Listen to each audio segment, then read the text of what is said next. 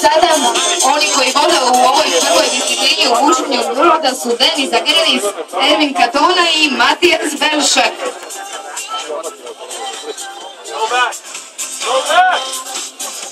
No vidjet ćemo svakako kako će prošlogodišnji pobjednik, najjači čovjek na svijetu, Kristof Rađikovski, rezultirati nakon što povuče ovaj brod na udaljenost od 20 metara. Napominjem, brod je dugo 18 metara, težak 13 tona. On